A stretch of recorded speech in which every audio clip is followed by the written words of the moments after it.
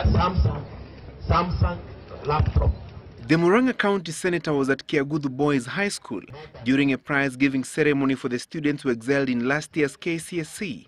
The stalemate triggered by the supremacy contest between the two chambers of parliament dominated, with the Senate Deputy Speaker faulting his colleague lawmakers in the National Assembly for allegedly trying to stifle devolution. Anybody who has not, does not support devolution at this stage, in my, in, my, in my humble estimation, that person doesn't have the interest of this great country at heart. The National Assembly had on Wednesday disregarded the amendments agreed on by the senators on the Division of Revenue Bill when it was forwarded to them by the National Assembly for their input as required by the Constitution. The National Assembly had initially allocated 210 billion shillings to the county governments, but the senators increased the allocation by 48 billion shillings only for the National Assembly to disregard the increment. I would like to tell them with a lot of humility that what they are doing is an act in futility.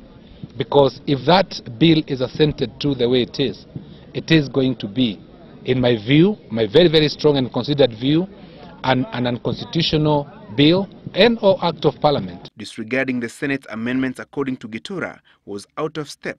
The Speaker of the National Assembly, all he needed to have done is, that, is to tell us, we don't agree with the amendments that you have proposed as Senate, therefore, under Article 112 of the, of the Constitution, we are going to have to create a mediation bill, a mediation committee of equal numbers between the Senate and the National Assembly to look at the bill again, you know, and come up with a middle of the way, an agreement on the way forward on that issue.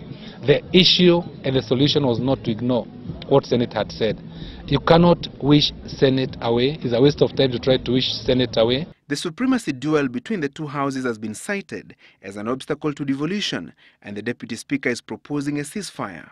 There is no supremacy battle at all. At all. That is in the figment of the imagination of certain people. But even assuming there was, and I'd say there isn't, should we make the Kenyans suffer by failing to do what we are supposed to do? If the division, if the division of revenue bill is not passed, then it means that devolution is going to be very gravely affected. The Division of Revenue Bill has been forwarded to the President for assent. The bill is critical in giving the legal authority for sharing of the 2013-2014 budget between the national government and the 47 county governments. Francis Gachuri, Citizen, at 1.